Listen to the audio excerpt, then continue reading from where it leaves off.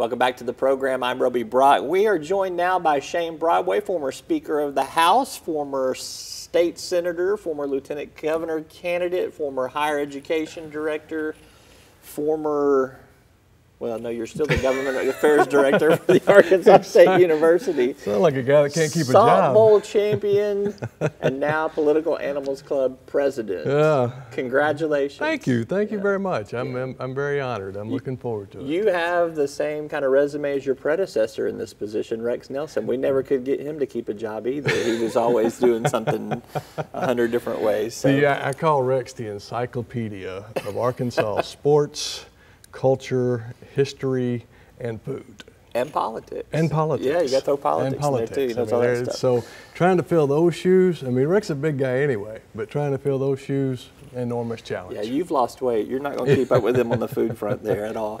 Uh, well, talk to me about the Political Animals Club yeah. uh, job now. Just to kind of, how did you get talked into this, and uh, kind of what, what what are you going to do? Well, Rex offered to buy me lunch. I mean, that, that's, that's pretty much that was pretty much it. Uh, no, I think you know when he was going back to the Arkansas Democrat Gazette, he he thought it might be appropriate because he, he's going to be writing, you know, a lot more. Uh, and so he, we, we got together for lunch across the street here, actually, uh, several weeks ago and, and started talking about it. And I mean, I've been going to the Political Animals Club since 1997, back when it was a breakfast meeting at the University of Hilton. Yeah. Uh, you know, so I've gone for many, many years and know the tradition. I mean, it, it's amazing. You know, we had our first meeting last week with Congressman Hill, and there were 160 people there. And we probably could have fit more, you know, but you run out of space. And it, but it's amazing the tradition of the club that Skip Rutherford started back in 1983 and how long it's existed, you know, meeting pretty much monthly mm-hmm. uh, to, to, large crowds. We have over 1,500 on a mailing list. Uh, and it's just people who are interested in politics, you know, people who are interested in what's going on in the, in the community, in the state, in the nation. And, and it's just, it's a great group, diverse group, yeah. bipartisan group. And uh, so it's a lot of fun. I'm looking forward to it. Yeah, awesome. Well, I'm looking forward to your leadership there too, because uh, we, we, attend regularly and we yeah. even do a program you every now and then. So good. Yeah. Tell me what your expectations are for 2018 elections. Well, 2016 was, in all truthfulness, you don't have to agree or disagree. It was a dud. There just wasn't anything exciting or riveting about it. From a state 2014 was huge, yeah. you know. And yeah, then, from a state So now we got 2018, and um, I, what's your sense? You know, it's still early. Uh, but you don't see a lot of activity out there. Uh, at, at, a state level or, or even a, a, local level, I think you'll have maybe some congressional races, a couple, uh, you know, here or there. Uh, but you don't hear a lot of, you, you, may have a lot of activity in the primaries mm-hmm. uh, in terms of legislative races because you've got some state Senate seats more up that are up this time uh, House members wanting to go to the Senate. So, but it, but it still, I think it still has a yeah. possibility of not being that exciting in 2018. Yeah. We're just post Labor Day, so yeah. it's still it's just young. it's just people. Now I, I, can say I've had several people call, you know, who are interested in running, trying to get my thoughts and what they should do and do and shouldn't do. So it, I think it'll start picking up closer, and it's different this cycle in that filing period is not till February and March, right. whereas last cycle it was much earlier due to the change for the presidential primaries. Yeah and um, and then we've got all the constitutional officers up this next year. Obviously, the the four congressional seats, but no Senate race no this Senate year, race. and that'll be uh, that'll uh, be a little bit of a deflator yeah, there in terms certainly. of and no presidential election. Yeah.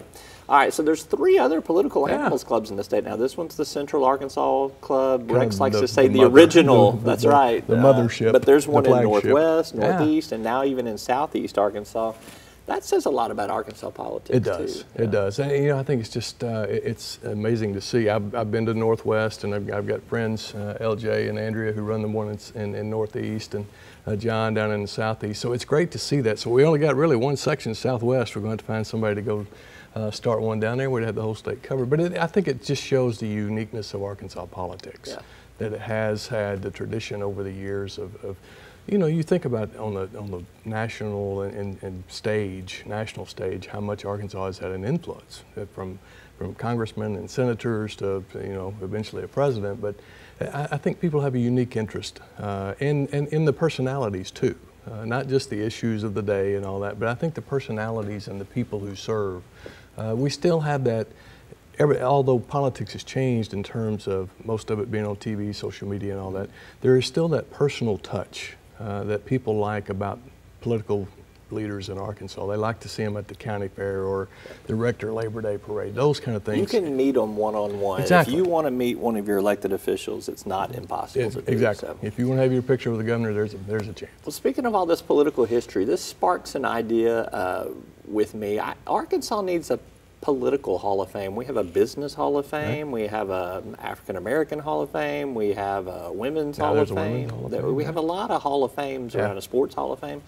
We need a political Hall of Fame like to talk that. about all of those legendary Yeah. figures. Really going back to the early 20th century, Arkansas has been a player on the national I agree. stage. I, I think it's an excellent idea. I, I really like the idea, and uh, because of, because of that history, uh, and then like uh, you and I have been talking, I've been trying to find a way now taking over political animals, but I've been thinking about it for a while too of, of how we preserve a lot of the history Yeah. uh, of these elected officials, senators, all the way down to congressmen who who have served and preserved those documents and photos. I mean, there's so much Yeah. history there.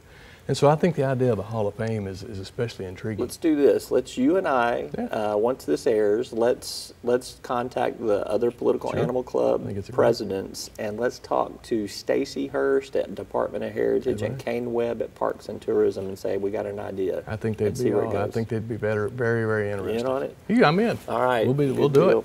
Sounds He's great. Shane Broadway. He is the head of the Political Animals Club, the Central Arkansas one, which is the original one. We're just going to refer to it as the Political original. Animals Club. Thank you for being here. You bet. Thank All you, right. Roby. That's all for today's program. I'm Roby Brock. Thanks for tuning in. We'll see you next time.